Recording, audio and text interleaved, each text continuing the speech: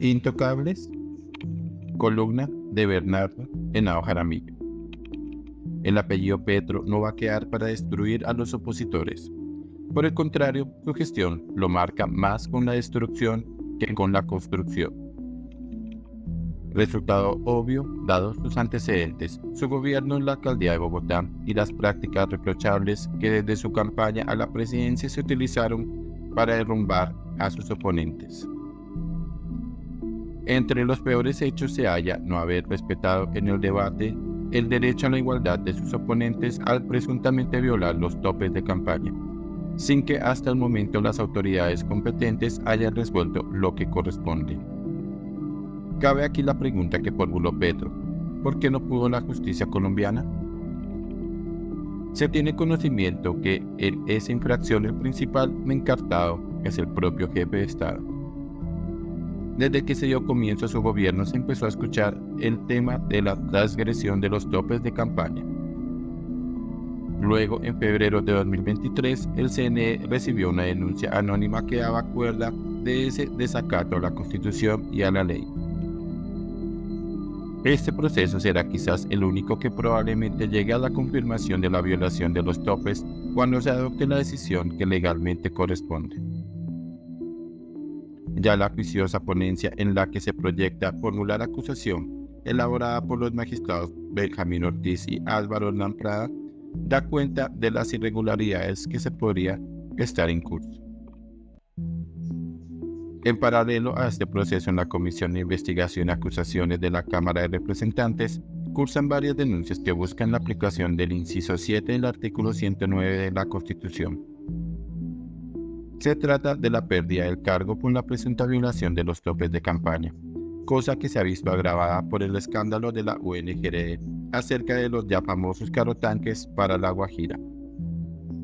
Al parecer se destinó parte del dinero desviado por los funcionarios a buscar una salida a las acusaciones.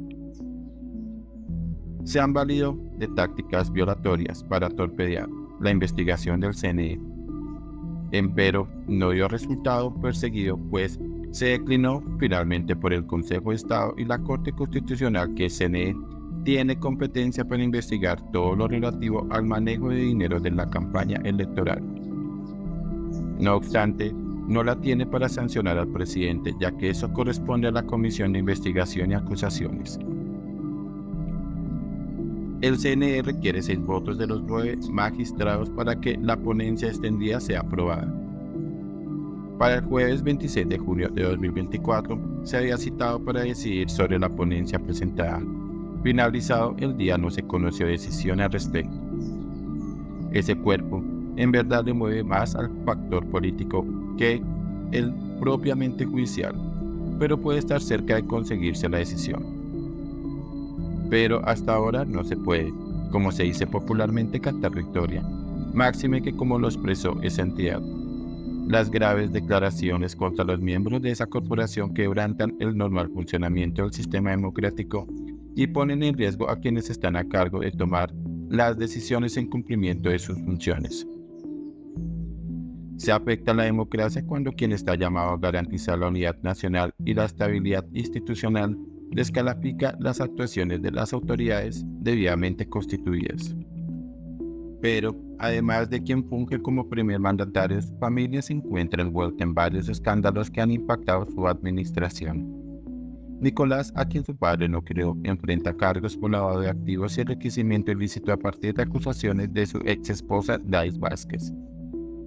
Ella denunció que Nicolás recibió dineros ilícitos para la campaña presidencial de su padre y se apropió de una parte de los mismos. En la investigación de la Fiscalía se ha establecido que hay en el patrimonio de Nicolás cuantiosos fondos no declarados. En equivocado proceder del juez de garantías al momento de la detención, al resolverle la situación jurídica, resolvió no enviarle a establecimiento penitenciario y dispuso que estuviera en Barranquilla, hecho que inmediatamente aprovechó su padre en probable violación expresa prohibición del juez para visitarle y por supuesto para comenzar el cambio de la narrativa de historia que los colombianos escucharon en entrevista en la revista Semana. Ahora el malcriado ha dicho que todo fue a espaldas de su padre. Por su parte, el hermano del presidente Juan Fernando Petro ha sido investigado, entre otras, por sus visitas a cárceles durante la campaña electoral de 2022. Estas visitas levantaron sospechas sobre posibles acuerdos con delincuentes para obtener votos, lo que se ha denominado el Pacto de la Picota. Juan Fernando justificó sus visitas señalando que estaban relacionadas con su trabajo en derechos humanos. Las investigaciones continúan. La primera dama Verónica Coser también se ha visto involucrada en varios escenarios que ha sido objeto de controversia. Recientemente ha sido implicada en las revelaciones de Nicolás Petro sobre la posible entrada de dinero ilegal a la campaña de su esposo, especialmente en la región Caribe.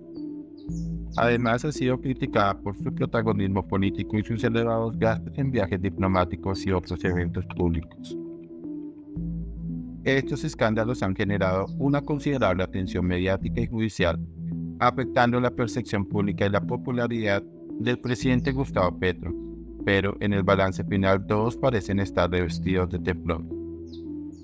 Nada pasa, tal como acontece con la cercana y quizás persona que administra la nación, Laura Sarabia, formada en la escuela de BNE, el de los 15 mil millones, que está vinculada al caso del polígrafo Amarel Mesa revestimiento que ahora pareciera extenderse a su socio, su hermano menor Andrés, que ocupa destacado lugar en cómo hacerse rico meses y que se atreve a desafiar y amenazar públicamente a quien se atreva a señalar.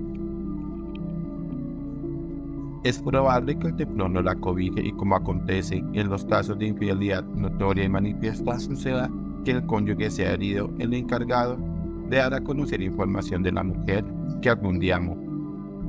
Lo que sí es seguro es que los secretos no quedarán en el otro cama conyugal.